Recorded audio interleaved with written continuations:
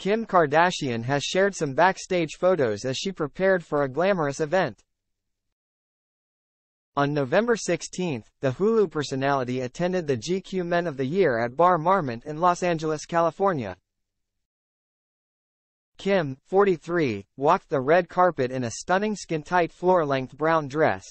She wore her brunette tresses sleek and loose over her shoulders and opted for a subtle bronzed makeup look, with a smoky brown eye and a glossy nude lip for the special evening. To accessorize her look, she wore plenty of rings. On Friday, Kim shared a behind-the-scenes look as the mom of four got glammed up for the event. In her massive photo dump, the Skims mogul shared several snaps of herself in the elegant gown. However, the last photo got the most attention as she shimmied the brown skirt over her butt.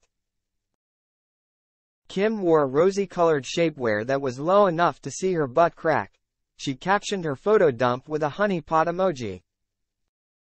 You're slaying. Fans couldn't help but praise the Kardashian star in the comment section. She's everything, one follower wrote. A second commented, You're slaying. A third said, Probably my favorite pic of you.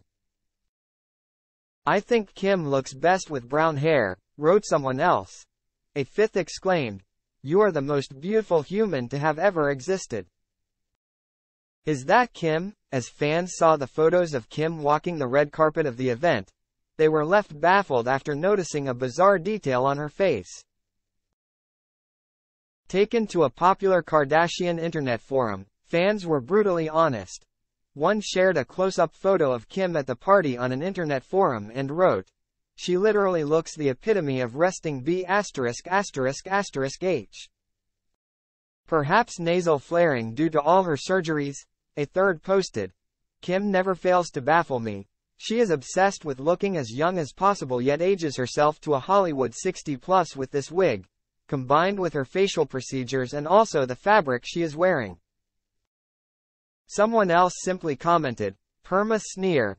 Plastic surgery confession. In the past, Kim has faced several plastic surgery rumors and has previously admitted to getting Botox. During an interview with Allure last summer, Kim was asked if Shed had any work done. A little bit of Botox, she said, pointing to the space between her eyebrows, and added that she has chilled actually. She then insisted she has never had lip or cheek fillers, saying, no filler. Never filled either one, ever. I have a drop of mascara on today. I've never filled my cheeks. I've never filled my lips. Thank God for Botox. In the first season of The Kardashians, Kim discussed Botox once again. She said, Thank God for Botox, while discussing the stress of studying to be a lawyer. In a later episode, the SKKN founder joked that she's had Botox in her neck.